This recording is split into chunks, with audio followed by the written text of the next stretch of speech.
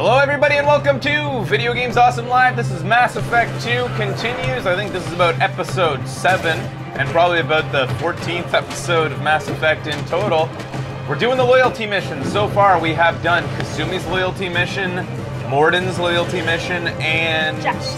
Jack's loyalty mission. We went and erased her past completely, the last remaining survivor from uh, the Yeah, test facility. did.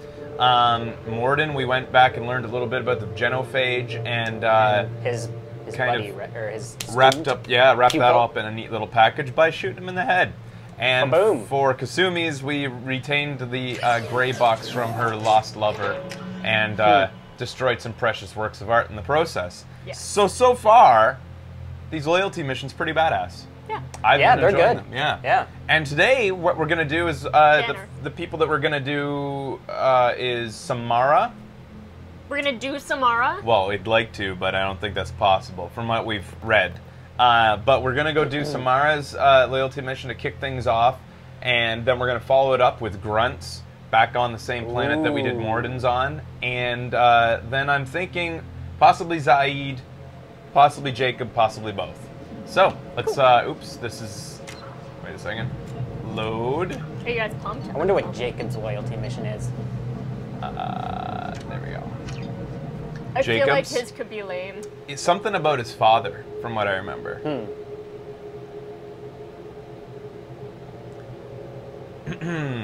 and uh, yeah, so this should be turbo only soon. We'll say goodbye to you, shadows. We love you. Play basketball. That's his mission. That'd be sweet, actually. Space basketball. Oh man, I want to play real basketball. Do you? Yeah. I love shooting hoops. Hmm. Playing horse. Yeah. Sorry for the long load stream. Jeez. Jeez, All right, here we go. that? You may want to Grunt seems agitated, Kelly. Oh, hey, Kelly. Yeah. Hi, How Kelly. may I help you, Commander? Hi. How's the crew? Pompadour. Is there anything I should know? Garrus received some news that put fire in his eyes. Maybe you should speak with him down in the main battery. Tali seems very distraught after receiving a message. So these are all the. Maybe you could check in on her down in engineering. the loyalty missions that we would can like To see you down in life support on the crew deck. Samara would like to see Yeah, you we've got them all. on the crew Un- deck. Grunt seems Despite what you guys have been going crazy down in the cargo about, you don't have to go talk to them in order to get their loyalty missions. You don't have to worry. Good luck out there. Boy. Samara. If Kelly talks about them saying that they want to talk to us, want to speak with they're ready to. She seems very worried about something. Yes, we know Kelly. Oh, Kelly. Don't we need to talk to someone first? Uh, oh yeah, we ha- we should talk to Samara about it, right? Yeah, because Before we actually do her We don't actually have it yet, right? Yeah. All right, let's head down and talk to Samara about what's been bugging her, what would make her more loyal to us. You know, given the chance that we might someday end up going up against some Reapers or Collectors or some epic battle that we might need them to be Could happen. extremely loyal for. I doubt it will, but These loyalty missions supposedly all accumulate to make the ending of this game. Hmm. The more loyal your crew is, it results in a, a better ending, like how things go in the final, the final stuff. So if you don't do the loyalty missions, everybody's like, no. It is, They run away. it is possible for everyone to die. Whoa! Holy sh! It is possible Whoa. to end the game, With end the everyone game, dead. end the game in such a way that you cannot play Mass Effect 3. oh yeah. Oh, Yeah. that's the. You can you can do it so poorly that you would have to start a new save with Mass Effect 3 or go back and fix it. Wow. Oh, that's nuts. Yeah. So it's some ser- serious shit. So here's Samara meditating, our Justicar. Mm. Oh. Hi, roll. I'm Ooh, glad look at those eyes. your team. Hello. It has been too long since I traveled with companions. Oof. When the time comes, I will do whatever is necessary. I appreciate that. You're an important part of this crew, Samara. It is my honor. Also, there is a matter I need to discuss. What that? When we met on Illium, I told you about a very dangerous person I was pursuing. Mm-hmm. Using the information you obtained, I have located her. She's been going by the name Morinth. I would like to apprehend her before she disappears again. So Samara's a Justicar. She has been like traipsing the galaxy trying to find this uh, person she's hunting. That's what Justicars do. Um, and she needs to kind of wrap that up before she's going to be completely loyal to us. Why is this so important? How important is this? Killing her has been my focus for 400 years. Wow. It is the most important thing. And they only live like a thousand years. And the reason I became a Justicar. Uh, investigate. Who is she? I need to finish these. Must be Where really hard she? to find. Omega, a nightclub called. She's on Afterlife, Omega, which is like the which Tatooine of the Mass Effect hunt. universe. You can go in there a lot. Yeah, Yeah. We, we have. We met. Z- we, we, we saved Garrus from being pinned down there. We met Zaeed there. Mhm. Um, that's about all we've done, but What if Oh, we Did you did, say uh, pick up her trail after our mission? quarantine I thing. know Quarantine where she yeah. is right now. In a month, she may be gone. This is the best opportunity I've ever had. So she's got some intel on Morinth being. Tell me about her. Who is she? She is an Ardat Yakshi. It is a term from a dead Asari dialect.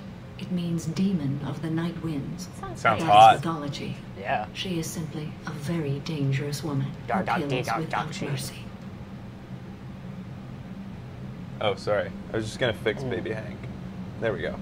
It's not a desert plain, but it's a bad place where all the bad people go. Yeah, That's how is it not like Eisley. it has a like it's got a giant nightclub where everybody gets drunk and fights. It's totally Mos Eisley. A greater hive of scum and villainy you'll never have found in Mass Effect. So, case in point. You're dangerous too. As are you. But she is different. Morinth suffers a rare genetic disorder. When she mates with you, there is no gentle melding of nervous systems. What? She overpowers yours, burns it out, hemorrhages Oh my your God. brain. wait, Whoa, what? whoa, whoa, You end up a mindless When shell, when she meets and with soon you. after. You know when Liara does Oh, the yeah, mind yeah, yeah. meld? When, this girl girl does it, for? she just scrambles your brain. Sounds pretty hot. I bet it's really awesome. I bet you it's worth it. yeah. yeah. Um, let's see here. Killing because of genes? So you hunt down these Asari just because they're born with a genetic condition? It manifests with maturity. When one is diagnosed, she is offered the chance to live in seclusion and comfort. If she refuses, it shows her addiction to the ecstasy she gets from killing her mates. There is no redemption for such a person. That's too extreme. I don't agree with that statement, They have to choose between prison and death. It is an addictive condition. Remember how adaptive we are. If Morinth does not want to be cured, she won't be. uh, what's with the compulsion? Why do they always Can't want she to do it? Each encounter gives her strength. The effect is narcotic. The more she does it, the more she needs to do it. Man, she will sounds never awesome. stop. She can't. This girl knows how to party. Why isn't this ever mentioned in Asari literature or art? When we were primitive, there was much fascination with Ardat Yakshi.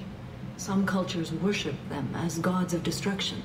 Now the Asari have a place in the galaxy, and they don't wish this defect to be widely known. As far as I know, only three exist today. Oh, Two chose a life of seclusion. The third ran. Morinth. Why do you care so much? She ran, and I am sworn to kill her. genius shepherd. Hmm. Uh, Yeah. Is it wrong to want freedom? I don't know that I blame her for running. When she fled, she proved her addiction. She was not taking a great moral stand. She simply wants to keep killing. She is a tragic figure, but not a sympathetic Man, one. she just wants to have awesome sex Jays. yeah. I can see why she's dangerous. This is definitely worthy of your full attention. She confuses her victims, twists their feelings. They will do anything for her favor. Hmm. Let's go get her. I at least want to have one night with her. Just one. It can't hurt. That much. We need to stop her. Thank Just you, a little Commander. brain scrambling. I don't all. think you've listened to me, words Shepard. It's the one time me. that scrambles your There is one brain. thing more. Come on, one time. A just society would give She her all my of their daughter. murderers. What? What? She's is her daughter. daughter. What? Holy Whoa. shit, she's hunting her own daughter. Whoa. You said this is genetic. How many children do you have? Three. And three Ardat Yakshi Oh! are in existence Is- today. Dude, Is It she? as it Let's do it. Let's try this. You gotta stop fucking. the wild one. She was happy and free. so Sarah has had three kids, and all three have been Ardat Yakshi. And that's probably why she is like the least likely to have sex jays in this game with Yeah. you. You should be, you should be able to do it if you're a girl with her. Nah, I think they scramble have no any brain. what. Oh yeah, that's true. They can. Yeah. And what? And they can scramble any brain, if you're a girl or not. Shit, Samara can't. There's something on your eye. Oh, that's the thing. Samara is not an Ardat Yakshi. She has Yeah. them, but she is not one. Yeah. Um, you should have told me. I needed to know this a long time ago. I gotta Like- take care of my preserve baby. no You should have to told me. Besides my own children. And this is not easy to speak of. Even 400 years after I learned it. My daughter's condition is my fault. And my redemption lies in killing her. So, Do not pity me. Simply understand my situation. Tell me more. How did all this happen? I spent oh. my youth on the move, adventuring. I killed people, mated with them, or just danced Wait, the night in away. what order? I learned so much, Yeah. experienced so much. And then my matron I wasn't days quite came. clear on that point. I could finally sit back, bask, and enjoy my family. But in one moment, it was all taken away. Cry me a We've all suffered, Samara. I'm not asking for your pity. I am trying to explain why this is so important to me. No, Shall please I stop? continue. Keep going. I'm listening. I sat in a med lab while a nearsighted doctor droned at me, and I learned that nothing was as I thought it would be. I gave up all that I possessed. I own nothing, claim nothing. So she became a Justicar just because she spawned an Ardat now my purpose Yeah. is to destroy Three. my Three. children. Three of them. I guess the third one was the one that broke the camel's back. Yeah. She was like, I can handle this one. That's all right. Come on. What, what are the odds? Two, you What are the odds? Unprecedented odds in the history of the millenniums that we have lived as species. Well, all right, one more time. and the third one ran. All right, dwelling on it won't help. You either get stuck in your past or forget it and move on. Shepard tells it I like am it not stuck in my past. I am out to rectify it. Help me find my long lost daughter. And kill her. We'll get her. We'll go find Morinth. Or get fucked trying. Now, can you kill her, then have sex with her? Let's see. And does that scramble your brain? I, um, Yeah. I think because it's a mind meld, they need to be conscious Yeah. for the full effect of an Asari sex J. What if she was on some sort of narcotic that she was still. Ben, your dedication to this scenario is commendable, even inspiring, uh, but Yeah, well. we, we're not going to corpse fuck on this show. There's one place where I wonder if draw she's the super line. hot, because her mom's pretty hot. well, Yeah, one she would probably expect will be. she's going to be irresistible because, She's an Asari. Mm-hmm. yeah. All right, here we go. Thane would like to speak with What? you, Commander. Oh. Here we go. Let's head over to Omega, the wretched hive of scum and villainy. Oh, mega. Beep, beep. You know, like that that was a really extended dialogue scene. Yeah. You know, it was pretty long, and yet I was interested the entire time, which is something that I can't really say for the Yeah. extended dialogue in The Witcher. I just feel like The Witcher takes a long time to get to the point. Yeah, I think Mass Effect um, does that a lot better than most games. Yeah, Uh, Well- they they tell compelling stories. yeah. There's a rule We- in writing, and that's that every piece of dialogue needs to move the plot forward in some way. And it just feels as though in The Witcher Rodriguez? sometimes, Is that from Rod? I don't know, it might be. it's a pretty old adage in film. Yeah.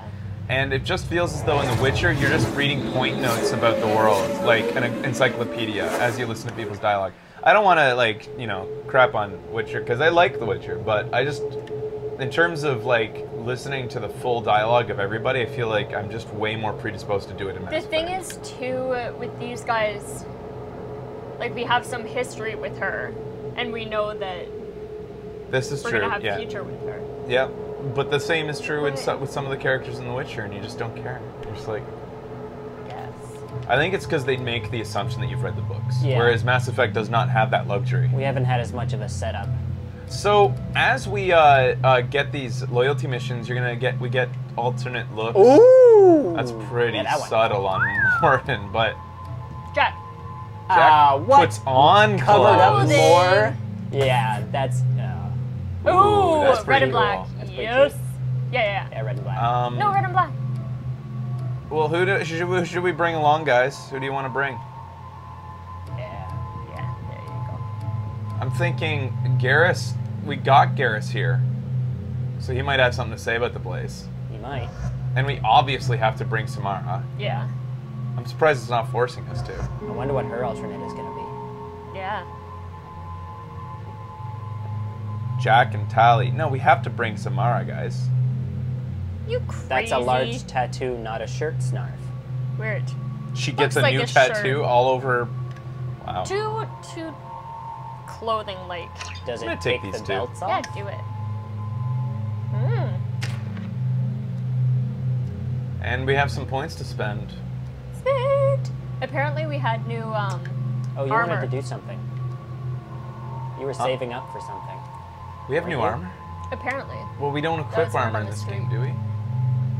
I forget how it works. Whatever. And what, Ben? You were saving up for something. Last time, Yeah, not? but I mean, the next the next level up, I'll have six points, so I, I still won't be able to like. I think I should just start putting it into stuff now. I think I'm gonna go for charge. Yeah, that's what I thought. In the quarters in your ship, you can change your armor. Maybe I'll look at the next mission. Yeah. I can't decide between charge or incendiary ammo. When you max out incendiary, you have the Getcha. ability to give your entire squad incendiary when you equip it. That's pretty sweet. as good incendiary, Yeah, look. as you. Number two option for the evolution. Entire squad gains effect of your of your incendiaries. Or you can get Inferno ammo, which is an explosive charge, spreads the ammunition's payload on impact, potentially igniting nearby enemies. That's pretty good.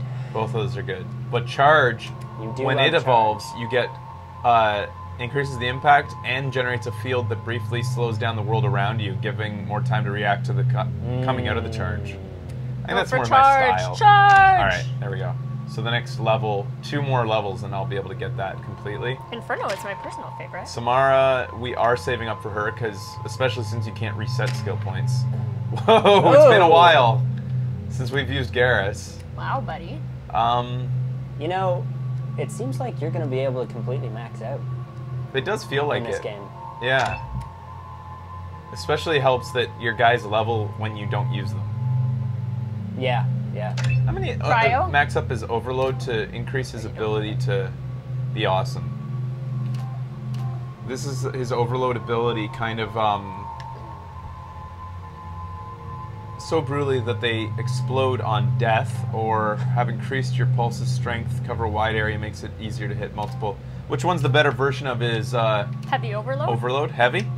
That's Someone one opinion. Heavy. Heavy.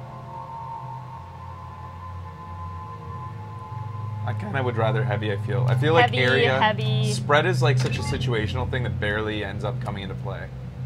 And You uh, said heavy. Yeah. I'm gonna. Turian Rebel. I'm just gonna make him a bit better because Garrus dies constantly.